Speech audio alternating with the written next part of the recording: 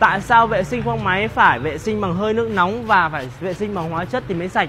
Thì ờ, đây quay luôn cho anh em xem.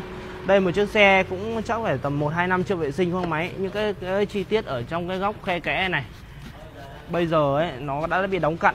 Nếu mà vệ sinh bằng nước thường thì không bao giờ mà hết và cũng không vệ sinh. Nếu mà vệ sinh nước lạnh thì không bao giờ sạch được và kể cả không hóa chất thì không bao giờ sạch được. Nó chỉ là gọi là qua loa trên mặt rồi thôi nên là nhiều anh em ờ, khi mà đi vệ sinh khoang máy, bảo là với thợ kỹ thuật bên em là không vệ sinh hóa chất.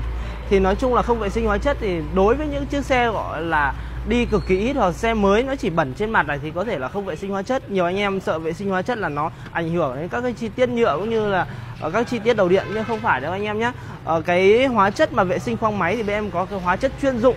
Thứ nhất là hóa chất chuyên dụng là đảm bảo sau khi vệ sinh là không bị bạc màu này không có ảnh hưởng gì các cái chi tiết nhựa chi tiết cao su. Và bên em có thêm cái công nghệ hơi nước nóng. Anh em nhìn thấy không?